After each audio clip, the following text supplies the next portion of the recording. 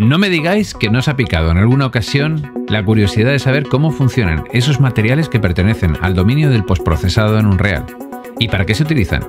¿Alguna vez habéis jugado a un juego donde está la visión térmica? ¿O este tipo de ejemplos donde hay una onda expansiva y descubren a nuevos enemigos?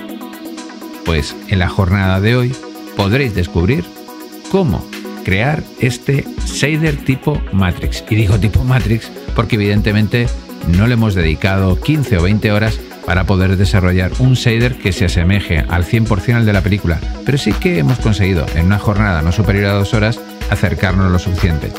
Así que podréis tener diferentes parámetros en los que poder hacer un barrido y convertir la realidad de Matrix en una realidad de un real. Nos vemos en esta jornada.